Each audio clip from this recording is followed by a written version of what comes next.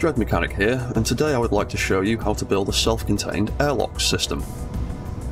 This system can be used on ships, stations or buildings, and in this tutorial we will be designing it around a small greenhouse. To build our airlock, we will need to create a small pressurized space using a pair of doors and an air vent.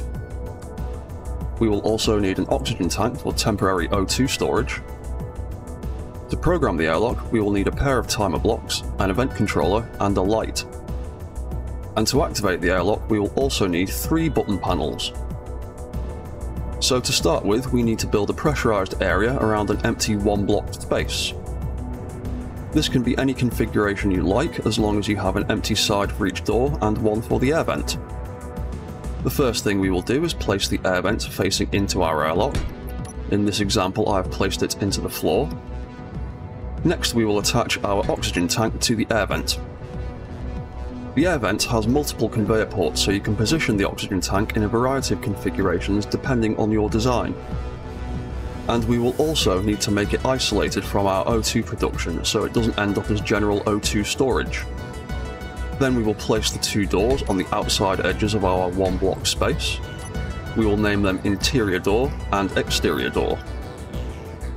Then we can close both doors to check that the area is actually airtight.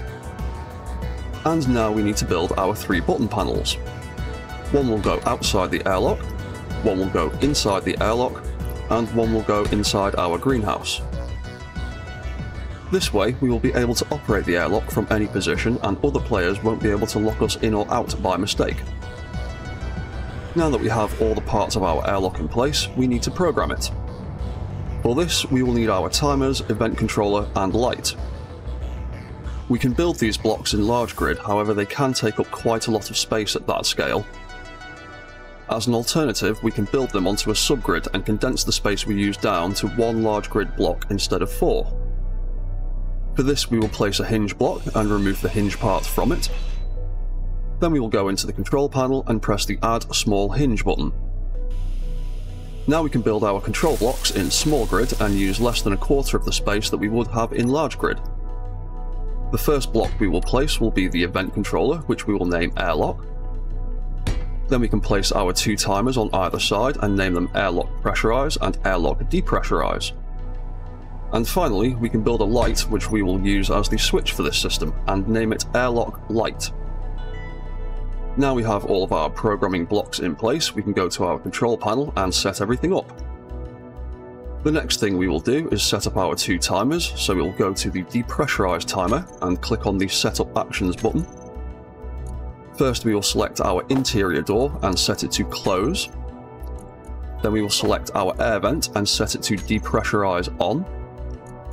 Next we will select our oxygen tank and set it to turn on. And finally, as a little visual indicator, we will select our airlock light and set it to change to cyan. Then we can go to our pressurized timer and do something very similar. The first action we will select will be our exterior door and we will set it to close. Then we will select our air vent and set it to depressurize off. Next we will select our oxygen tank and again set it to turn on. And finally we will select our airlock light and once again set it to change to cyan. Then we can go to our airlock vent and click on the Setup Actions button. The air vent can function much like a sensor with two separate states for when the space is pressurized or depressurized. So on the first page we will set our exterior door to turn off in slot 1 and turn on in slot 2. Then on page 2, we will set our exterior door to open in slot 2. On page 3, we will set our interior door to turn on in slot 1 and turn off in slot 2. Then on page 4, we will set our interior door to open in slot 1. And in slot 2 of page 4, we will also set our oxygen tank to turn off. This will prevent our O2 tank from filling up once the airlock has been depressurized. And then finally, on page 5, we will set our airlock lights to change to green when it is pressurized, and to change to orange when it is depressurized. And now we have all of those commands in place, we can set up our switch. So we will go to our airlock event controller and set the event to block switched on off. We will select our airlock light from the available blocks list. Then we can click on the Select Actions button and set up our timers. Now we can either just set our timers to trigger in each slot, but this has the potential for them to be triggered when we don't want them to. Or we can set them up to turn on and off, as well as being triggered to prevent any conflicts. So on page 1, we will set our depressurized timer to turn on in slot 1 and turn off in slot 2. Then on page 2, we will set that timer to trigger in slot 1. On page 3, we can set our pressurized timer to turn off in slot 1 and turn on in slot 2. Then on page 4, we can set that timer to trigger in slot 2.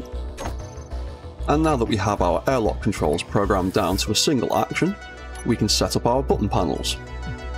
So all we need to do is go to the action menu for each of our buttons and select the block on off action for our airlock light. We should now be able to open and close our airlock whether we are inside it or outside of it.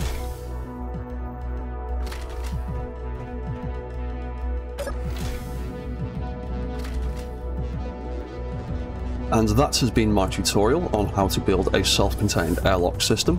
Thank you for watching, and goodbye for now.